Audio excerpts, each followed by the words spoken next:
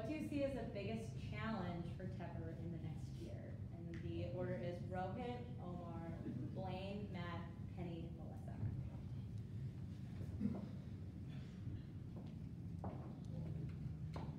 I think we touched on it, um, that we are uh, STEM MBA now, and we're really trying to push this idea that we're at the center of business technology. I think it's very, very important. But we, in my opinion, based on the conversations I've had with students already, is that having that diverse perspective, not necessarily from international students and all that, but the diversity of thought and experience and the different job profiles that, that people have had.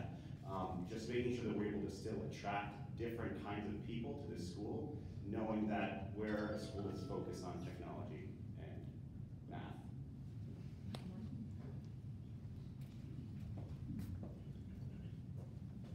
The systems we have here at Tepper, uh, being a school that's number one in computer science around the world. We're very bad at kind of putting all our systems in one place, and we have many, many portals we're working on.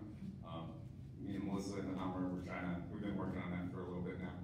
Um, but I think that will lead to helping us have more uh, transparency into the diverseness, working with admissions and other areas as well, giving it a lot more easy opportunity.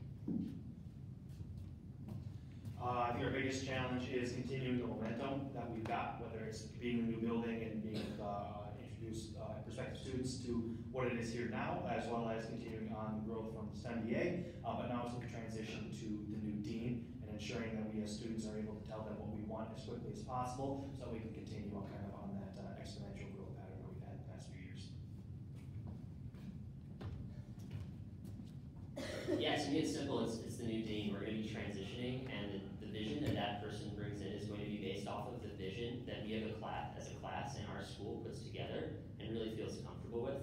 Um, I think our biggest challenge is, is solidifying our values around the things that we care about as a community, uh, and translating that to the new dean as they come in, so that we can keep the momentum that we've built over the past few years.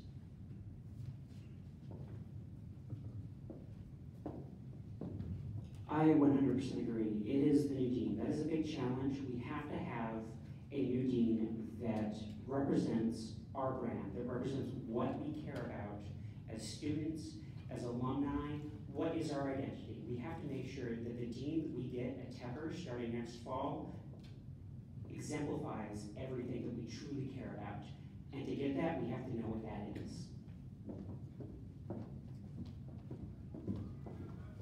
Um, I see two big things, as everyone mentioned, the dean and being STEM certified. I think as students, we have the right to play an active role in the strategic plan of our school moving forward, and also ensure that we don't skip a beat. I think the progress has been get to this building and then what, and I want to be a huge part of